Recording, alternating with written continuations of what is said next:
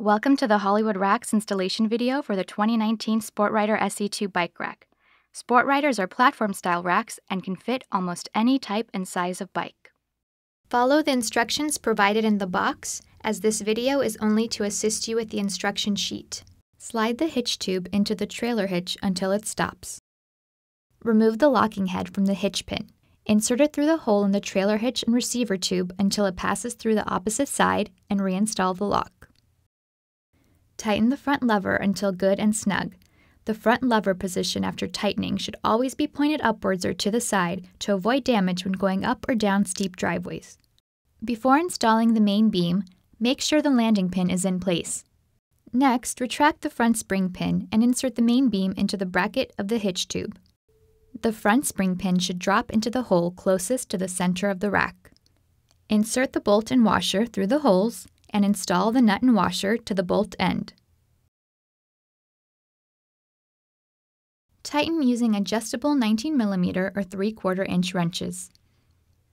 Slide the wheel tubes over the square posts on the support beam. Square holes should be on top. Insert the carriage bolts through the holes. Install the thick round washer and the nut onto the bolt end.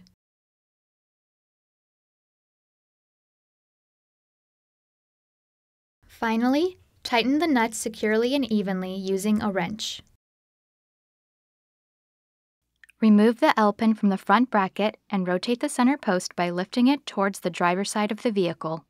Insert the L-pin into the lower hole to secure its vertical position. Before installing, make sure the lock is in the vertical unlocked position. Position the long frame hook on top of the square post with the hook facing the vehicle. Push the release button in and slide the frame hook down onto the post. The release button should be pushed in when installing the hook onto the post. Repeat the same action for the short hook, except face the short hook away from the vehicle.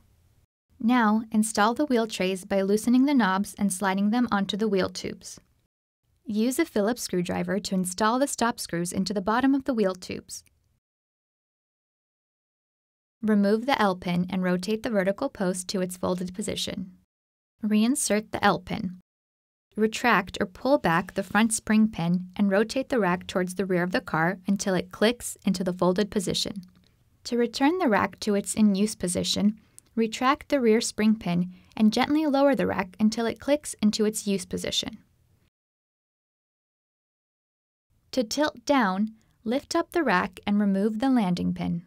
Pull the front spring pin and gently lower the rack down to its tilted position. Follow the reverse steps to bring the rack back to its in-use position.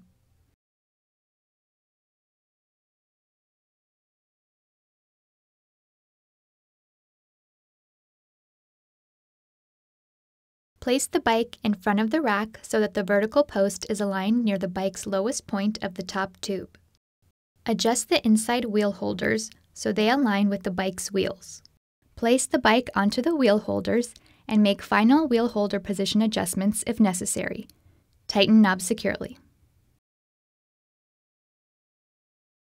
Push down on the frame hook while engaging the lever.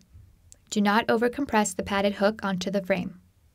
For top tubes other than round shaped, you can use extra padding, such as a sponge or piece of cloth, as needed.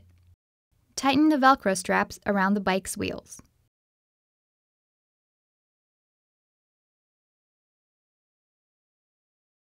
As the final step, pull up on the plastic housing to double check it is properly engaged and lock the ratchet clamp for security. The lock should be in the horizontal position. When carrying two bikes, the handlebars must be staggered. Try to place the heaviest bike closest to the vehicle.